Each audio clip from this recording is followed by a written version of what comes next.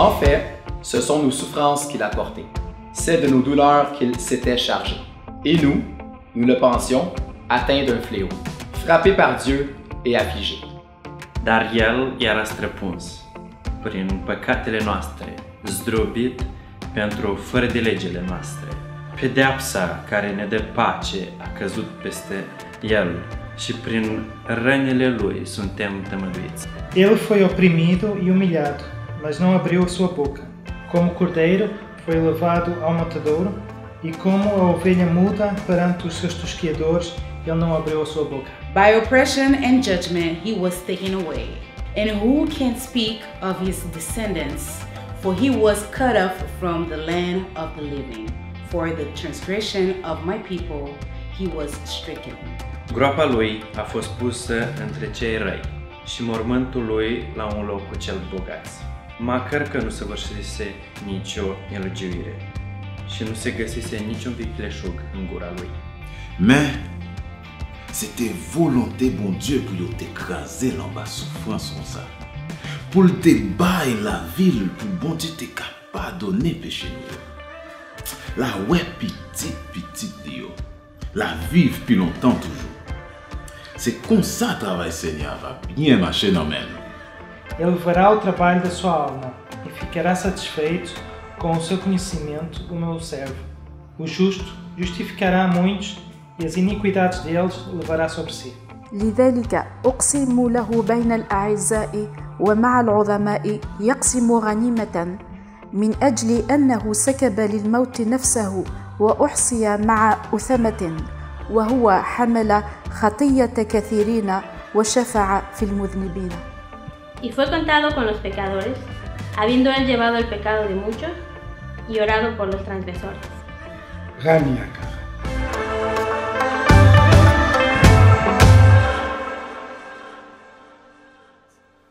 Ce matin, dans toutes les langues, partout dans le monde, toutes les nations parlent de Pâques.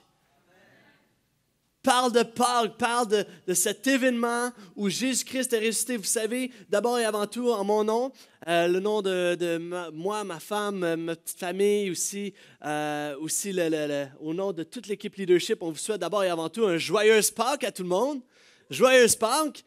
Et euh, vous savez, pour nous, Pâques, c'est, du chocolat, c'est, des lapins, c'est un congé, c'est férié, c'est euh, la famille, des soupers de famille, des dîners de famille, des déjeuners de famille, des, des- des- de la bouffe. Mais Jésus a aussi rapport avec Pâques. Aux dernières nouvelles, il y, y a une raison pourquoi Pâques est là et c'est euh, majoritairement à cause de Jésus. Jésus a rapport encore aujourd'hui. Souvent on dit tout a toujours rapport avec Jésus. Pâques a aussi rapport avec Jésus. Et c'est ce que nous déclarons ce matin. On a lu, on s'est fait lire du moins le texte d'Ésaïe 53, où on voit dans ce texte, c'est le poète, c'est Ésaïe en fait, qui est un prophète, mais qui écrit, si, si- tu trouvais que le langage était moins familier, c'est de la poésie, parce que c'est le plus beau des langages. Alors il écrit en poésie, et il parle de Jésus, il parle du Messie à venir, il parle de la crucifixion. Lui qui a, euh, a été meurtri, il parle de Jésus à venir. Ce qui est intéressant, c'est que dans tous ses poèmes, Ésaïe va parler avec plein de détails concernant Jésus-Christ. Et pourtant, il écrit ses poèmes 700 ans environ avant Jésus-Christ. Il écrit ses poèmes avec cette perspective qu'un jour le Messie viendra. Et voici, il décrit dans des détails incroyables. Et 700 ans plus tard, Jésus-Christ, le Fils de Dieu, le Fils de l'homme, va marcher sur cette terre. Il écrit en prédiction, il prêche une prédication, mais de prédiction. Il parle de cet homme de douleur et il pointe vers Jésus. Toute la Bible, tout l'Ancien Testament, toute la Bible pointe toujours et constamment vers Jésus. On voit dans la Bible et, et même dans l'histoire, on parle de Jésus, de Jésus qui avait cette vie humaine, Jésus qui a souffert vraiment la crucifixion comme un être humain peut vraiment souffrir. On voit Jésus qui avait cette euh, euh, euh, humanité, cette nature humaine, et en même temps qui avait aussi cette nature divine. Divine, il a vécu d'une manière parfaite, il a vécu sans péché, sans reproche. Nul ne pouvait se, lui reprocher quoi que ce soit. Il était sans péché, mais pourtant il va être condamné à mort, tel un brigand. Ils vont le crucifier, ils vont le tuer, il va souffrir, il va être meurtri. Ces meurtrissures nous ont guéris. Et ensuite de ça, nous savons qu'il est ressuscité. Il est mort, mais trois jours plus tard, il est mort et on a parlé de ça vendredi dernier surtout. Ah, ce vendredi, on s'est commémoré la mort de Jésus-Christ, euh, mais, mais, on se rappelle, nous, on sait, c'est drôle parce que euh, euh, c'est rare, tu vois des gens célébrer un enterrement, célébrer quand on se commémore que quelqu'un est mort. Mais nous, on, célèbre. Pourquoi on célèbre quand Jésus est mort? Parce qu'on sait qu'est-ce qui s'en vient. On sait que Jésus, la tombeau va être vide et on sait que Jésus est ressuscité. Amen? C'est pourquoi on célèbre. Parce qu'on sait que la résurrection s'en vient. Il est ressuscité. Parce que la, Bible nous dit que la conséquence du péché, la chose la plus laide qui peut résulter du péché, c'est la mort. La conséquence du péché mène à la mort. Mais qu'est-ce qu'on fait avec quelqu'un qui n'a pas péché? Jésus n'a pas péché. Alors la mort, il ne pouvait pas avoir le jugement de la mort sur sa vie. La mort n'a pas pu le contenir. Il a vaincu la mort et il est ressuscité d'entre les morts. Le tombeau a été roulé et il est sorti de son tombeau. Si tu cherches Jésus, cherche-le pas dans le tombeau, mon ami. Il n'est plus là. Il est ressuscité, il est encore vivant, il est réapparu à ses disciples. Il y a des centaines de témoins oculaires qui ont écrit sur ce sujet.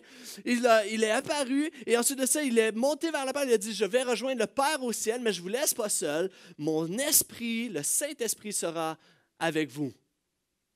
Et c'est pourquoi nous disons Jésus est encore vivant. Amen.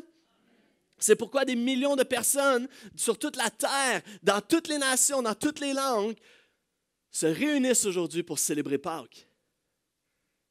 En ce beau Pâques 2017. Et notre message ce matin à moi et Pasteur Gaétan qui est à Laval, on prêche le même texte, le même message ce matin, c'est six manières de répondre à la résurrection de Jésus. Maintenant que nous savons et que nous, nous savons que Jésus est ressuscité, comment allons-nous répondre à cela? Six manières. Alors que Ésaïe, lui, regarde en Ésaïe 53 à ce serviteur souffrant qui va mourir, une brebis muette qui meurt. Il regarde à l'œuvre de Jésus à la croix. Voici, il enchaîne avec Ésaïe 54. D'abord et avant tout, trois manières en tant qu'Église, trois réponses de l'Église à la résurrection. Est-ce que vous êtes prêtes? OK, let's go. Ésaïe chapitre 54, verset 1. Si tu as ta Bible, tu peux y tourner, sinon le tout va apparaître à l'écran. Oh, ça va être intéressant ça. Let's go. Ésaïe, chapitre 54, verset 1. Pousse des cris de joie. Pousse des. Je vais prêcher là-dessus, inquiète-toi pas. Pousse des cris de joie. Femme stérile, toi qui n'as pas accouché. Éclate en cris de joie et triomphe, toi qui n'as pas connu les douleurs de l'accouchement. Car les fils de la délaissée seront plus nombreux que les fils de la femme mariée, dit le Seigneur. La première réponse à la résurrection, c'est d'abord célébrons Jésus. En cette journée de Pâques, célébrons Jésus. En cette journée de, résurrection, célébrons Jésus. Je l'ai dit que Isaïe, euh, déjà au verset 1, on voit que c'est très poétique. Et la femme stérile euh, signifie, symbolise la religion. La religion stérile. Une religion qui est sans vie, sans fruit et sans croissance. Il n'y a rien qui naît d'une femme stérile c'est la religion morte, c'est la pure religion. Mais nous sommes appelés à pousser des cris de joie. Le christianisme n'est pas une religion, il n'est pas une femme stérile. Le christianisme porte du fruit, a de la vie et est appelé à la croissance. Le, christianisme, je vais le redire, le christianisme a la vie, a du fruit et amène une croissance. C'est pourquoi il dit la femme délaissée va avoir de nombreux enfants. Le christianisme et l'Église de Jésus naît. Après, Jésus va naître et va avoir une croissance surnaturelle. Isaïe, juste avant, au, chapitre 53, verset 11, va dire, et ça va apparaître à l'écran aussi, est-ce qu'on peut le mettre? Génial. À cause du travail de son âme, on parle de Jésus, il rassasira ses regards. Par sa connaissance, mon serviteur juste justifiera combien? Beaucoup d'hommes, il se chargera de leur iniquité. Ils seront nombreux, une multitude. À l'église de Portail, on célèbre. À l'église Le Portail, on célèbre parce que dans la dernière saison, dans la- l'automne dernier, nous avons euh, déclaré notre vision. Nous avons clarifié notre vision pour qu'ensemble, nous ayons tous la même vision, le même objectif, le même but et que nous marchions tous dans la même direction. Et nous avons déclaré, voici, nous voulons à l'église Le Portail amener 10 000 personnes à devenir des disciples de Jésus. 10 000 disciples de Jésus. Et des disciples, c'est quoi? C'est quelqu'un qui suit Jésus, tout simplement. Alors, 10 000 personnes qui suivent Jésus. Et plus tard, en décembre euh, 2016, pour nous à Terrebonne, ce qui est bien, c'est qu'il se passe de belles choses aussi à Laval. Et nous à Terrebonne aussi, vous savez, on tourne autour d'une centaine de personnes ici lorsqu'on se réunit les dimanches matins à Terrebonne. Et nous avons dit, voici notre prière pour 2017. Nous voulons qu'en décembre 2017, donc décembre prochain, nous soyons 150 régulièrement à l'église Le Portail de Terrebonne. Yes!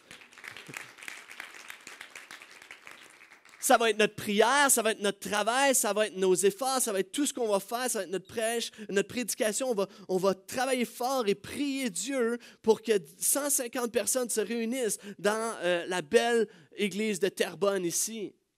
Vous savez, dans les dernières semaines, on a eu de belles assistances. On se réjouit. On se réjouit parce qu'il euh, y a beaucoup de gens qui euh, se joignent au portail. Des gens, nous avons eu des belles assistances avec 130 personnes. Deux fois, il y a eu un 150 à terre. Lors de notre baptême, nous étions 150 ici à l'église de Portail de Terrebonne.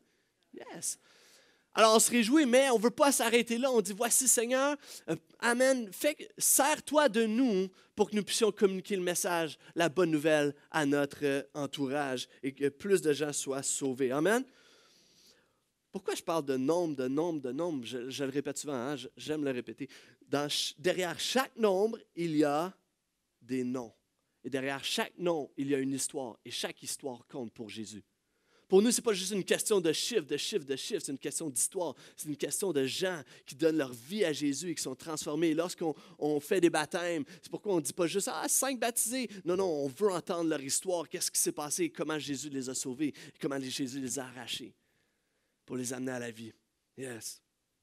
On se réjouit aussi parce que je me rappelle, il y a quelques, euh, mois, en fait, peut-être un peu plus d'un an, il y, a, un de nos leaders, Olivier, qui est venu me voir et qui me dit Hey Max, euh, j'a- j'aimerais ça prendre du temps avec les ados puis m'occuper de eux. Je dis OK, il y en a combien à Terrebonne? Bah, Deux, quatre. OK, let's go. Occupe-toi-en, aime-les, passe du temps avec eux, parle-leur de Jésus, sois comme un grand frère pour eux. Puis tranquillement, pas vite, il y a une réunion, vous savez, aujourd'hui, il y a une réunion à chaque premier dimanche du mois, il y a une réunion juste pour les ados, euh, ici même. Et euh, en ce moment, ils se retrouvent, ils sont 8, 10, 12. Gloire à Dieu! Ils ont doublé! Gloire à Dieu! Il se passe de belles choses. Merci Seigneur. On se réjouit. Et le vendredi soir, ils se, ils se réunissent tous ensemble avec plusieurs autres ados. Ils sont euh, euh, ralliements à Laval. Ils sont ensemble, ils célèbrent, ils ont du fun.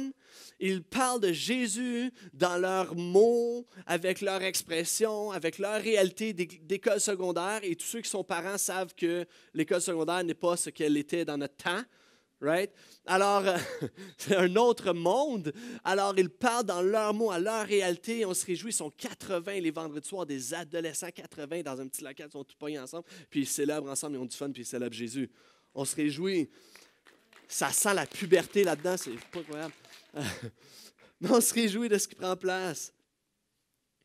On se réjouit parce qu'à Terrebonne, il y a eu des- une soirée infoportail où on, parle de tout ce qui se prend place à l'Église et il y a des gens qui viennent et on, on connecte avec eux, des gens qui se joignent à l'Église. Je l'ai dit, les cinq baptisés. Il y a des soirées disciples qui ont pris place dans les derniers mois où c'est une fois par mois, on fait une soirée spéciale pour que tu puisses approfondir euh, ta vie, ta, ta vie avec Jésus, ta- ton expérience avec Jésus, où ce qu'on prie ensemble, on va dans la louange ensemble, on va en profondeur. Et aussi, après ça, on prend un temps pour étudier la Bible, étudier un certain sujet, un thème, parce qu'on croit que ta foi ne doit, ta foi vient du cœur, mais ta foi doit être aussi raisonnée. Dois aussi la raisonner, ta foi. Alors, on, on a ces soirées disciples-là. On ne veut pas juste avoir des gens qui viennent à l'Église et avoir des assistances. Nous voulons former réellement, concrètement, des disciples qui suivent Jésus. On se réjouit. On se réjouit parce qu'on développe des leaders On a développé des leaders dans l'Église. Dans la dernière saison ici à Terrebonne, on a développé des leaders qui prennent plus de place, qui s'occupent de bénévoles, qui prennent soin de l'Église, qui prennent soin des gens. On a David qui s'est joint, euh, qui, est un leader qui s'occupe du montage du montage, qui fait une super belle job avec son équipe. On a Soad qui a pris tout le département d'accueil. On se réjouit pour Soad. Soad est où? Elle est là, quelque part. Soad est là. Elle prend, tout, elle prend extrêmement bien soin de l'équipe et de nous et nous accueille avec toute une équipe. Il y a Jimmy aussi qui a pris temporairement les, tâches de Sarah pendant qu'elle est en congé euh, maternité pour prendre tout ce qui est coordination et la logistique. Et Jimmy a à cœur aussi, dans ses dons aussi la prédication. Et dans les dernières semaines, il a prêché son premier message à Terrebonne. On se réjouit parce qu'il y a un développement. Il y a des gens qui prennent plus de place et des leaders qui grandissent. Amen. Maintenant, je dis tout ça pourquoi? Parce que c'est une raison de célébrer, mais ce n'est pas célébrer notre talent. On ne dit pas à l'Église le portail, on est bon, good job. C'est bon ce qu'on fait, hein?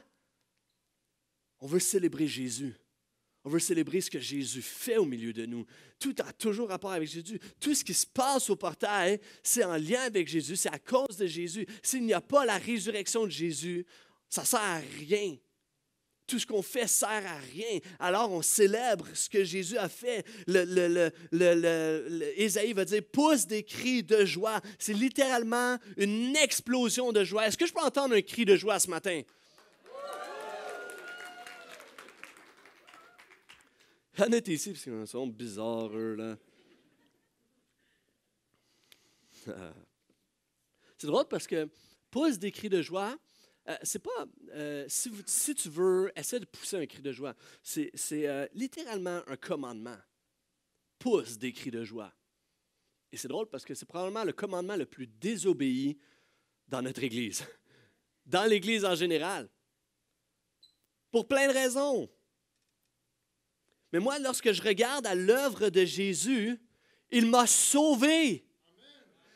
Il m'a sauvé. C'est une, occasion de joie. Et lorsque je mets ma foi en Jésus-Christ, je l'ai dit, il est mort, mais il est ressuscité. Lorsque je mets ma foi en Jésus-Christ, Dieu, lorsqu'il me regarde, il ne voit plus Max, le pécheur, Max, celui qui est rempli de fautes et de tâches, celui qui est une bonne personne, mais qui fait tellement d'erreurs et qui est injuste devant Dieu et qui marche selon ses propres voies. Il voit plus Maxime parce que j'ai mis ma foi en Jésus-Christ. Alors lorsque Dieu le Père me regarde, il voit son Fils Jésus-Christ et c'est pourquoi nous sommes appelés à être et à marcher comme des enfants de Dieu.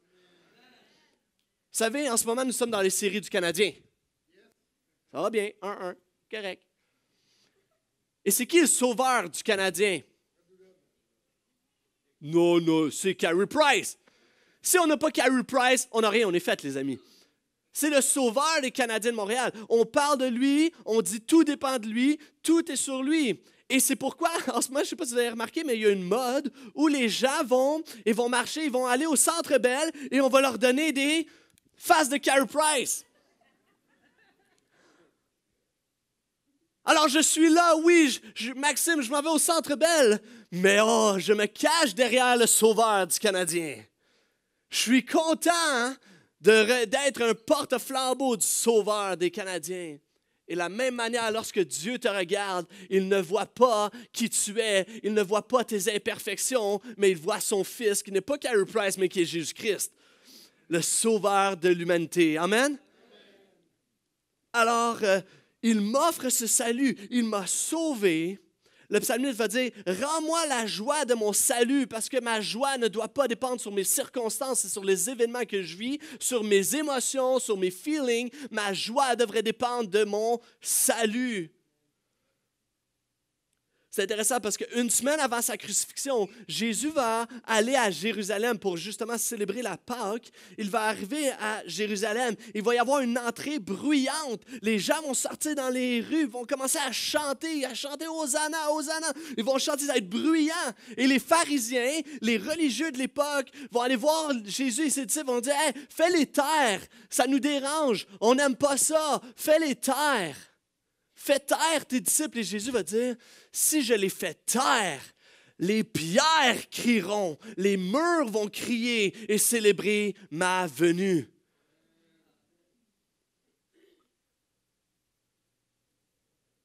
Nous ne sommes pas appelés à être austères, mais je comprends que nous sommes appelés aussi à être parfois solennels. Nous ne sommes pas appelés à être irrespectueux. Non, nous sommes appelés à être dans la joie. Ce n'est pas la même chose. Mais nous sommes appelés à être dans la joie.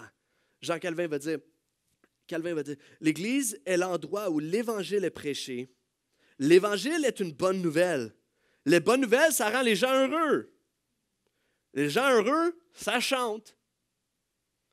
Alors même les gens malheureux peuvent chanter pour s'encourager. Pourquoi? Parce que même si tu, es, si tu es malheureux, Jésus est une bonne nouvelle. La bonne nouvelle, c'est l'Évangile. Puis l'Évangile est prêché ce matin. Alors tu as une raison d'être heureux ce matin. Peu importe ta circonstance, tu peux ressortir d'ici dans la joie parce que nous célébrons Jésus. Rends-moi la joie de mon salut. Qu'est-ce qui nous retient, Église? Qu'est-ce qui nous retient? Vous savez, euh, je, m'occupe d'une ligue de hockey COSA, mais euh, la semaine dernière, dimanche dernier, c'était euh, le soir, c'était la finale. Et j'arbitrais le match parce que mon équipe est trop poche pour s'y rendre. Non, c'est pas vrai, c'est pas vrai.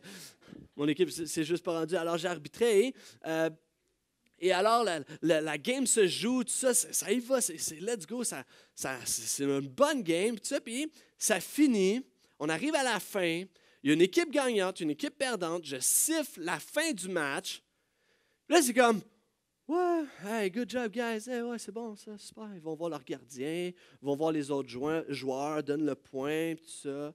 Puis là, après ça, se retrouve la petite équipe qui a gagné en, en rond. C'est comme, hey, good job, guys, ça, c'est le fun, une belle saison. Puis moi, je m'en vais, moi, pendant temps-là, je m'en vais chercher la coupe. Oui, oui, il y a une coupe. On prend les choses au sérieux, nous autres. La coupe de la Ligue des champions. Et euh, alors, je prends la coupe et je m'en vais pour euh, la porter à l'équipe vainqueur. Je m'en vais pour la remettre au capitaine. Et à ce moment-là, il prendra la coupe. Comme dans les films. Et, je la remets, finalement, je rentre dans le cercle. Puis alors que je rentre, j'entends un peu la conversation. Puis qu'est-ce qui prend place? Puis les gars, c'est comme Ah ouais, c'était le fun. on a eu une bonne game à ça. On a bien joué. C'était des Ah ouais, on se fait des belles passes. Tout ça. Puis hey, good job. Puis là, j'arrive dans, dans, plein milieu. Puis c'est comme Ah, good. Ah ouais. Puis là, le capitaine, il prend la coupe. Puis il est comme Ah, nice. Puis tout ça. Je suis comme Hey! Moi, je m'en vais. Puis je suis un peu traumatisé de la scène. Parce que tu viens juste de gagner. On a passé l'année à jouer au hockey. Tu gagnes. Puis en m'en allant, j'entends les gars applaudir. c'est comme, il y en a un qui applaudit, puis les autres applaudissent par respect, tu sais. Tu sais, par suiveur, ah, il applaudit, fait qu'on va applaudir. Tu sais quoi? Je suis retourné à, faire mes choses, puis je me suis dit, malheureusement, parfois, ça, c'est l'image que j'ai de Jésus-Christ, de, l'Église où ce qu'on a la victoire, mais on ne sait pas comment célébrer. On a gagné la plus grande victoire. En Jésus-Christ, nous avons vaincu toutes choses. Nous pouvons vaincre toutes choses. Tu peux vivre, vaincre tous tes défis, toutes les luttes que tu as. Tu peux les vaincre dans le nom de Jésus-Christ. Mais parfois, on marche puis on dit Ah, à l'église, on vient à l'église puis on célèbre, je suis libéré. Ah. Come on! Célébrons Jésus comme il se doit.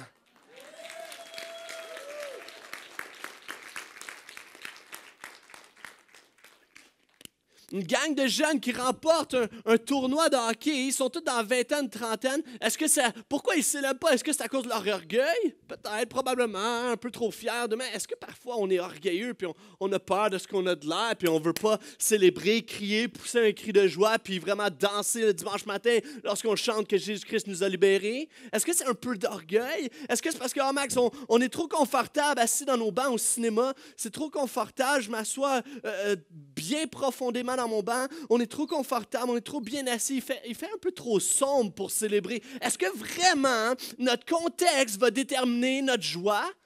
Est-ce que vraiment le fait qu'on soit ici ce matin va déterminer? Non. Paul se retrouve en prison, il va pousser des cris de joie, il va célébrer et louer son Sauveur.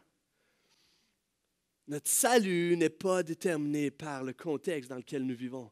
Notre salut est déterminé par l'œuvre de Jésus-Christ. Yes.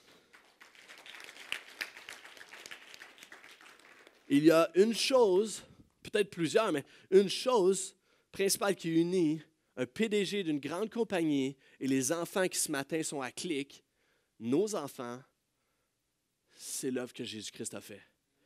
Et si vous allez dans une classe d'enfants en ce moment, ce matin, à clic, il y a des fortes chances que ça chante que ça bouge, que ça tape des mains, que ça, joue, que ça se réjouit. Et de la même manière, nous pouvons nous réjouir aussi de ce que Jésus a fait pour nous. Amen. Rappelle-toi de ce point-là la semaine prochaine aussi. Soyons une église qui célèbre Jésus. Amen. Yes, sir. Verset 2, on continue.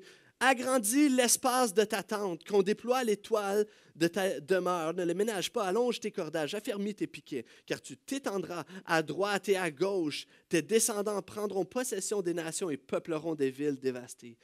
Faisons de la place à Jésus. Faisons la place à Jésus. Ça dit littéralement, allonge tes, cordages, agrandis ta tente, stretch-la.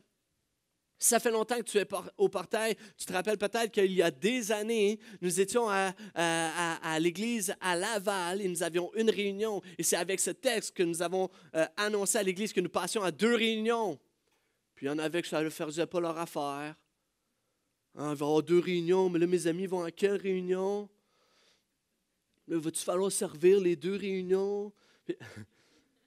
Et tranquillement, ça nous a étiré, ça a étiré l'Église. Et tranquillement, l'Église s'est remplie. C'est avec cette même philosophie, cette même pensée que nous avons euh, implanté à Terrebonne ici une deuxième euh, Église, un deuxième site.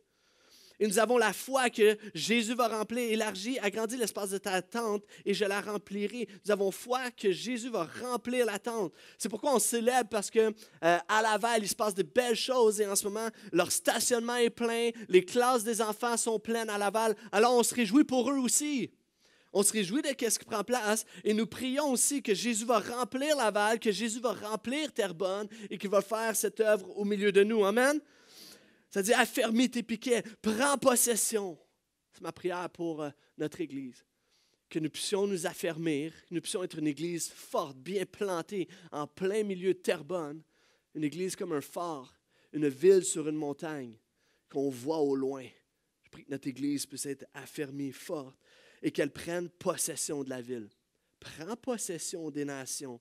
Nous ne voulons pas nous infiltrer, prendre possession du gouvernement. Non, non, non. La Bible dit que nous servons un Dieu d'amour et que ce Dieu vit en nous par son esprit. Alors, Dieu qui est amour vit en nous et lorsque nous parlons, lorsque nous agissons, c'est avec l'amour de Dieu, par son caractère, avec son caractère.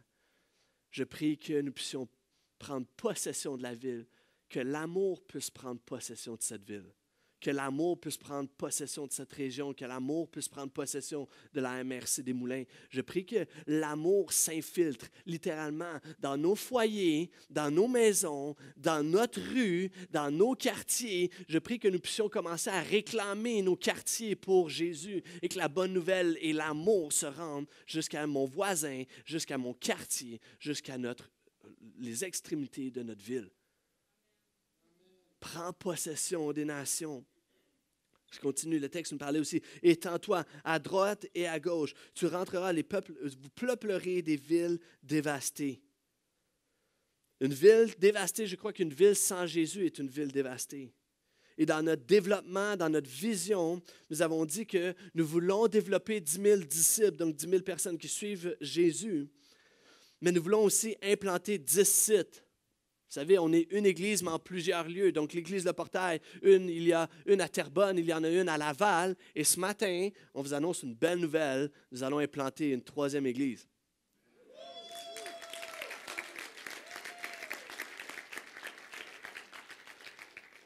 On en a implanté dix et on est sérieux à propos de ça. C'est pas juste une belle phrase catchy, let's go, 10, Non, non, on est sérieux. On veut le faire. On veut travailler pour faire, on veut prier, puis on, croit que Dieu va remplir et qu'il le fait et qu'il œuvre. Pourquoi des sites? Pourquoi plusieurs églises en plusieurs lieux? Parce que nous voulons rejoindre ceux qui n'ont jamais entendu parler de Jésus, ou du moins voulons qu'ils rencontrent, entendent parler de la bonne nouvelle qui peut être pour eux. Et aussi parce que nous voulons développer des leaders, développer des gens qui vont prendre plus de place, qui vont prendre du leadership dans des sites différents. Alors, vous savez, on juge la santé d'une Église non pas sur sa capacité à asseoir des gens. On juge de la santé d'une Église sur sa capacité à relâcher, à envoyer des gens dans la mission. C'est pourquoi on veut envoyer des gens en mission et implanter un site. Alors, trois bonnes nouvelles pour nous ce matin. Vous êtes prêtes? Nous allons implanter d'abord et avant tout dans la belle ville de Saint-Eustache. Euh,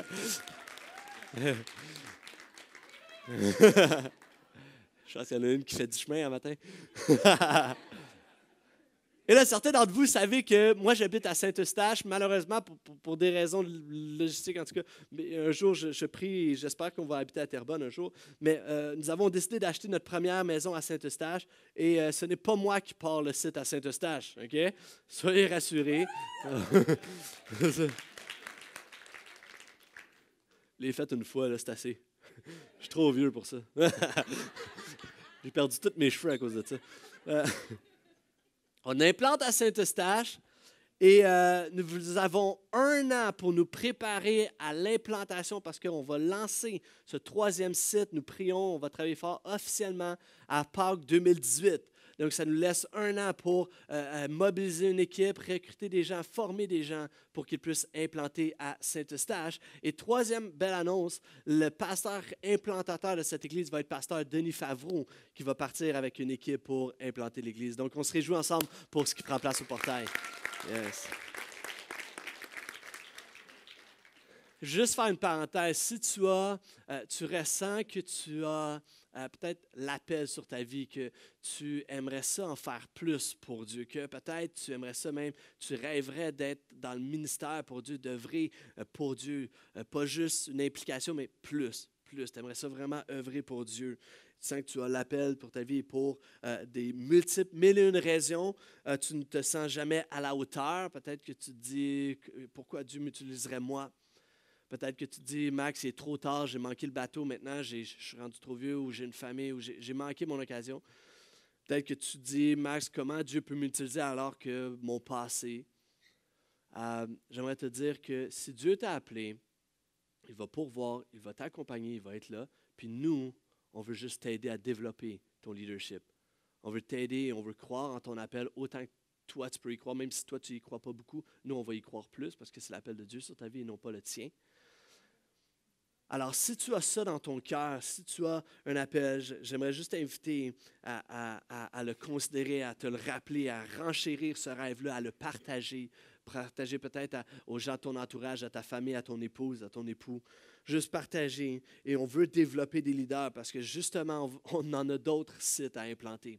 Alors, on veut développer des leaders. Je t'invite à libérer peut-être ton horaire pour qu'on passe du temps ensemble, pour qu'on puisse se côtoyer. Je t'invite à t'impliquer dans un ministère pour qu'on puisse se voir et que tu puisses commencer à servir. Nous voulons faire de la place à Jésus. Amen? Yes. Je continue verset 4. N'aie pas peur. Quand les montagnes s'en iraient quand les collines vacilleraient, ma fidélité envers toi ne s'en ira pas et mon alliance de paix ne vacillera pas, dit le Seigneur qui a compassion de toi. Tous tes fils seront tes disciples, seront disciples du Seigneur et la paix de tes fils sera abondante. Tu seras affermi par la justice. Tiens-toi loin de l'oppression, tu n'auras plus peur et de la terreur, elle n'approchera plus de toi. Toute arme forgée contre toi sera sans effet, et toute langue qui s'élèvera en justice contre toi, tu la condamneras. Voilà le patrimoine des serviteurs du Seigneur, la justice qui leur vient de moi. Déclaration du Seigneur. Mon troisième point, comment répondre à la résurrection de Jésus? N'ayons pas peur.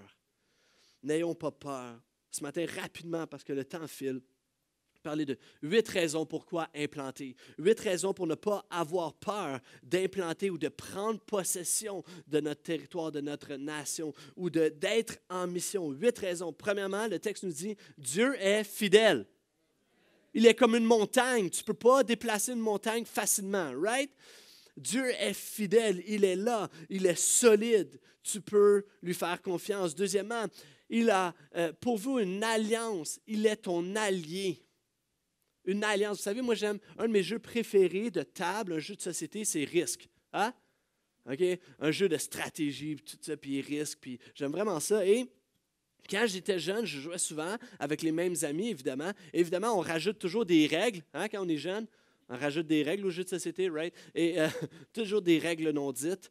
Et nous, une des règles, c'est que euh, c'est différents, euh, comment différents combattants donc dans, dans le jeu et on peut faire des alliances avec les autres joueurs. On s'allie pour remporter et conquérir le monde. alors on fait une alliance. Mais nous, dans nos règles, c'est quand on fait une alliance, ben, on le dit. On le dit, on fait une alliance, puis on le dit, puis les autres joueurs savent. On est alliés maintenant, on va te tuer. alors, alors, on y va comme ça. Et à un moment donné, je me retrouve à jouer à risque dans un autre contexte avec d'autres amis. Et finalement, je, suis là, le jeu se prend place, puis je me retourne vers mon voisin, puis je commence à discuter avec lui d'une alliance possible. On pourrait s'allier, puis on pourrait faire ça, puis tout ça. Puis alors que je suis en train de discuter, je réalise que le tour d'après, il m'attaque. Mais non seulement lui m'attaque, mais les deux autres joueurs m'attaquent pour réaliser en fait qu'ils sont tous alliés, puis qu'ils vont tous m'éliminer. Je suis comme, hey, vous l'avez pas dit! Vous n'avez pas Je ne sais pas comment ils ont fait ça. Ils ont fait des signes, puis ils se sont tous alliés, et là, je me retrouve éliminé. Sache que Dieu s'est allié avec toi, mais il l'a dit, il va tenir sa promesse, il tient son contrat, il est allié avec toi. Il ne te laissera pas tomber, il ne jouera pas dans ton dos, il est ton allié. Troisièmement, il a compassion de toi. Il a compassion de ta situation, de tes peurs, de tes contraintes as peur de prendre possession. Il, il a la compassion pour toi. Quatrième promesse, quatrième raison qui est merveilleuse. Tous tes fils seront disciples du Seigneur. Je crois que c'est une promesse de Jésus pour nous, pour nos enfants, pour tes enfants qui se sont éloignés du Seigneur. Il y a un espoir, persévère et repart avec cette promesse ce matin. Tes fils seront disciples du Seigneur. Nous sommes appelés à prendre possession des nations, puis ça commence par nos familles, par nos foyers prendre possession, que l'Esprit de Dieu règne, que l'amour de Dieu règne dans nos foyers et nous puissions prendre possession. Amen. Cinquième raison, ils auront une paix abondante face à toutes tes inquiétudes. Peut-être des inquiétudes même par rapport à, à ton foyer. Une paix abondante sur ta vie. Ils seront affermis par la justice. Je vais rapidement. Il y aura une protection contre toute arme forgée contre nous. Je crois que c'est une promesse pour notre Église. Toute attaque, toute intimidation, toute situation, tout, contexte sera sans effet. Toute arme forgée contre nous sera sans effet. Et huitièmement, ça dit, voici le patrimoine des serviteurs du Seigneur. Voici le patrimoine, voici l'héritage que nous léguons. Vous savez, on est appelé à léguer un héritage. Je commence à réfléchir là-dessus alors que, euh, vous savez, j'ai des enfants, mais ils sont tout jeunes, puis je commence, souvent, ça, vient à moi, je réfléchis déjà sur ça, sur qu'est-ce que je vais léguer. Le compte en banque va probablement pas être gros, mais je veux léguer quelque chose. Vous savez, moi, je sais, honnêtement, j'ai pensé hier, je sais même pas c'est quoi le nom de mes grands-parents, mes arrière-grands-parents. Je ne sais même pas c'est quoi leur nom. Je sais même pas c'était qui. Puis je réfléchissais, puis je me disais, Seigneur, fais que je puisse léguer quelque chose à mes enfants. Fais que je puisse, que l'amour prenne possession de ma maison, de mon foyer, que ton amour règne au milieu de nous et que ça puisse se, transporter de génération à génération. Voici le patrimoine des serviteurs du Seigneur. Alors voici, ce sont des promesses pour notre Église. Et lorsque nous entendons que Jésus est ressuscité, nous pouvons célébrer, nous faisons de la place à Jésus et nous n'avons pas peur parce qu'il a vaincu la mort. Amen. Maintenant, trois réponses de l'Église. Je vais enchaîner avec trois réponses du non-chrétien. En Ésaïe 55, si tu es ici ce matin, tu te dis non-croyant, non-chrétien, peut-être que tu es athée, peut-être que peu importe la raison, comment réagis-tu? Comment répondras-tu ce matin à la résurrection de Jésus? Voici ce que ça nous dit, verset 1. Hola! Hola, vous tous qui avez soif. Venez vers l'eau, même celui qui n'a pas d'argent. Venez, acheter et manger. Venez, acheter du vin et du lait, sans argent, sans rien payer. Alléluia. Pourquoi pesez-vous de l'argent pour ce qui n'est pas du pain? Pourquoi vous fatiguez-vous pour ce qui ne, se ce qui ne rassasie pas? Écoutez-moi donc mangez de ce qui est bon, et vous, vous délecterez de mets succulents. Tendez l'oreille et venez à moi. Écoutez, vous vivrez. Je conclurai pour vous une alliance perpétuelle, celle de la fidélité envers David qui est sûre. J'ai fait de lui un témoin pour les peuples, un chef qui commande au peuple. Verset 5. Tu appelleras une nation que tu ne connais pas, une nation qui ne te connaît pas accourra vers toi. À cause du Seigneur, ton Dieu, du Saint d'Israël, qui te donne de la splendeur. Première façon de répondre si tu es non-chrétien, d'abord, j'aimerais t'inviter à venir à Jésus. Viens à Jésus. Le texte débute en disant Oh là Et, c'est littéralement, ça fait, ça fait écho à une expression. C'est comme si je te disais Hey Hey C'est un peu la même chose. Hey Et ça fait écho, en fait, ça fait appel à, rappel à, à, l'époque, il y avait dans le, Moyen-Orient, tu sais, il y en a encore aujourd'hui des marchés. Tu sais, quand tu vas dans le marché, marché aux puces, tout ça, puis il y a un marché, il y a des fruits, il y a tout ça, puis il y a, il y a les vendeurs qui sont là, puis qui te crient après. Hein? Hey, hey, veux-tu goûter? Hey, veux-tu acheter? Hey, hey, pas cher, pas cher. ça te crie après. C'est cette même ambiance-là. Puis il dit Hey, viens, viens à Jésus. Viens. Tu as soif, viens-t'en. Tu veux de l'eau, viens-t'en. Tu es pauvre, viens-t'en. Tu es riche, viens-t'en. Tu n'as pas besoin de ton argent. Viens à Jésus. Tu n'as pas besoin de ton, ton, contexte, ton compte en banque. Tout ce que tu as accompli sur cette terre est futile. Viens à Jésus. Viens-t'en. Et tous ont besoin d'eau. C'est pourquoi il va mettre l'enfant sur l'eau. Viens chercher de l'eau parce que tous en ont besoin. Jean 7, 37, c'est merveilleux. Il va nous dire, je lis pour vous. Le dernier jour de la fête, ok, je saute. Si quelqu'un a soif, qu'il vienne à moi et que celui qui croit en moi boive. Que celui qui a soif vienne à moi. Et c'est Jésus qui parle. Vienne à moi et je lui donnerai à boire. Jésus a ce désir de combler ta soif. Peut-être que tu as soif de vérité, de beauté, d'émerveillement. Tu as soif d'amour, tu as soif de rêver, tu as soif de comprendre. Tu as soif de relation, tu as soif de joie, de bonheur, tu as soif de paix. Peu importe ta soif pour laquelle tu travailles si fort. Jésus dit, voici, viens à moi, je comblerai ta soif. Je ne sais pas si vous avez déjà euh, fait ça, d'amener une bouteille d'eau, d'aller jouer dehors avec les enfants et quoi que ça, et, tu arrives, tu fais du sport, et tu arrives pour prendre une gorgée d'eau, finalement l'eau est chaude. Et, eh, vraiment déçu. L'eau est toute rendue chaude. Jésus ne te décevra pas. Viens à moi, voici qu'ils viennent à moi et qu'ils boivent. Jésus ne va pas te décevoir. Viens à lui, il veut t'offrir de l'eau. Achète sans rien payer. Combien aimerait ça acheter des choses sans rien payer? Hein? Ça, c'est la grâce de Dieu. C'est gratuit. Tu ne le mérites pas. Jésus ne va pas regarder à quel point tu es bon et à quel point tu serais capable. Il va juste te donner. Il te donne. Ça, c'est la grâce, son amour. Ce n'est pas à propos de tes, œuvres. C'est à propos de son œuvre qu'il a accomplie à la croix. Il est mort pour toi. Et non seulement tu n'as pas à payer, mais ce que tu vas manger, ce n'est pas du PFK. Ce sont des mets succulents. Ce sont des mets succulents. Sa grâce, elle est riche. C'est la richesse de sa grâce. Dieu comble le besoin avec la richesse de sa grâce. Ce n'est pas juste les restants. Sa grâce, elle est riche. Alors arrête de gaspiller ta vie à essayer de te procurer ce qui, ne rassasie pas vraiment. On essaie tellement souvent de, se combler avec des choses, avec du matériel et d'acheter des choses qui, vont nous rendre heureux.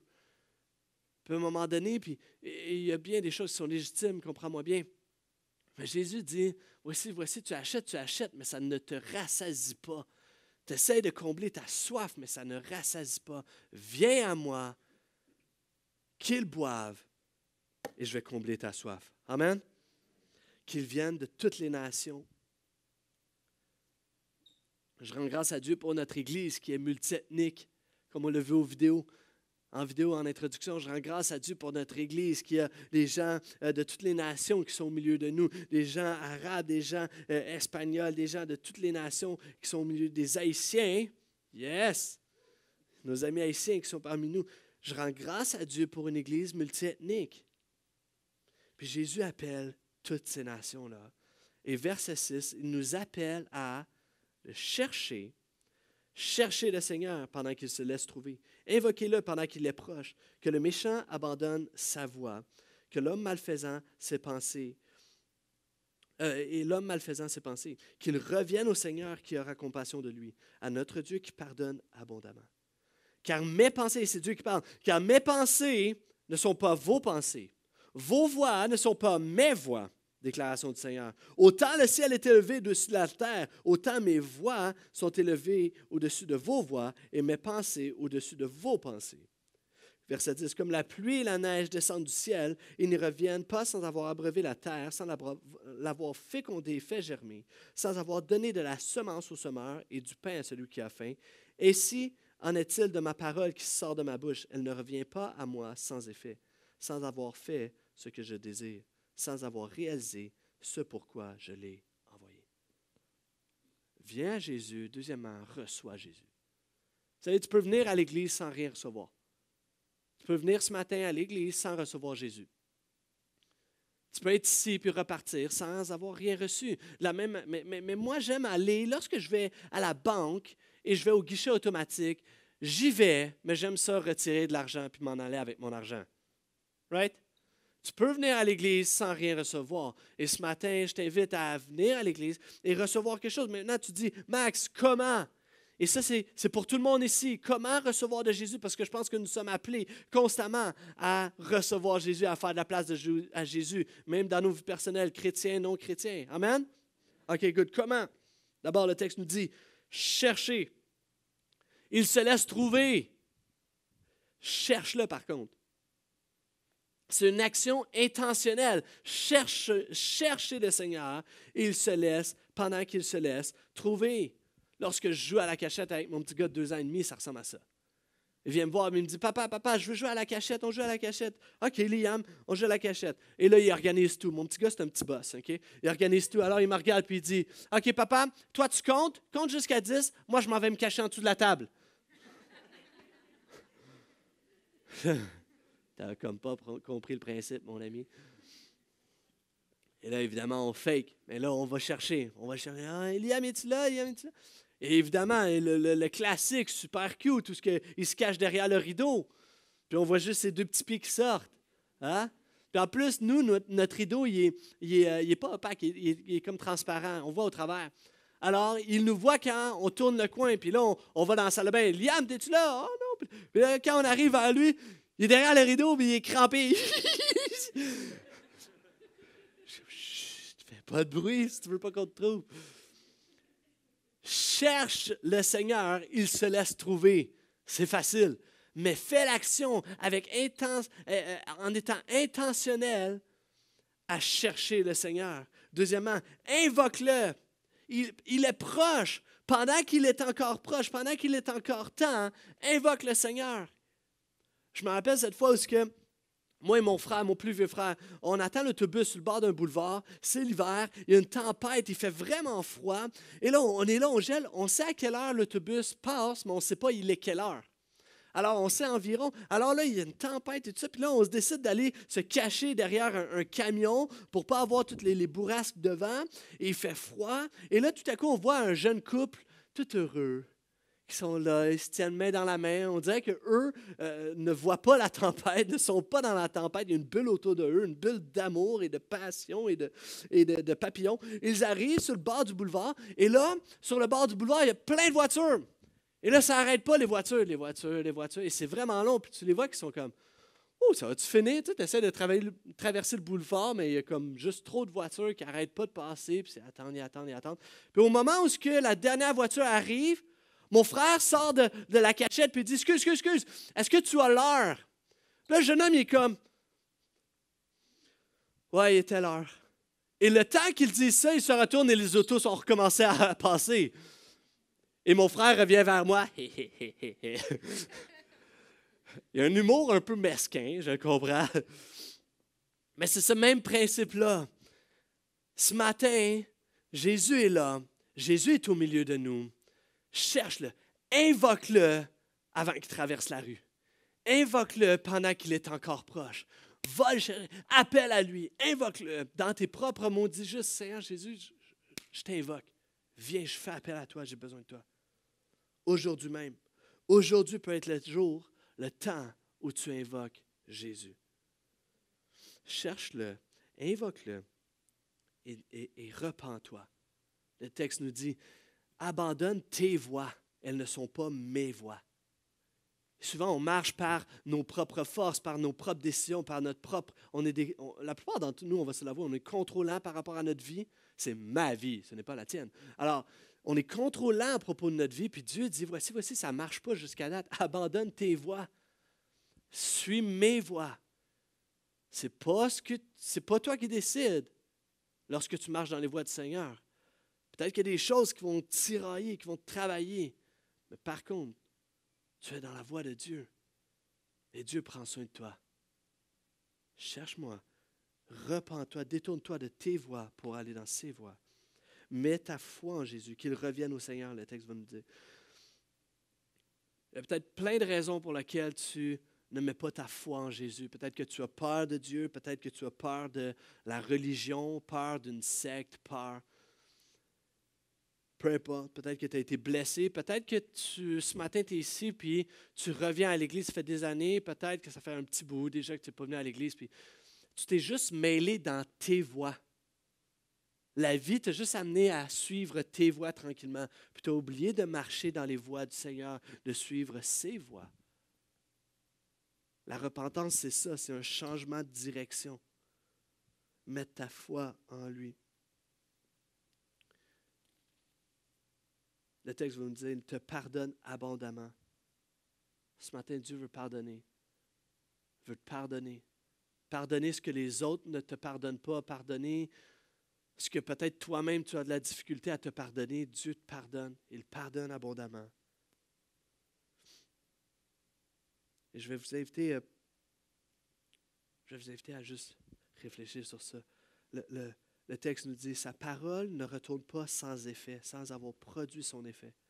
Ce matin, ce que je te dis, la bonne nouvelle de Jésus, elle est certaine. Cette parole, elle est certaine. Cette parole, elle est efficace. Elle porte du fruit. Alors ce matin, tu peux avoir confiance en Jésus-Christ je, prie pour que tes doutes puissent être chassés que tu puisses faire confiance à Jésus et le suivre. Amen. Je vais vous inviter à vous lever. On termine dans quelques instants. Je vais inviter les musiciens à venir me rejoindre aussi. Et on va lire le dernier texte ensemble.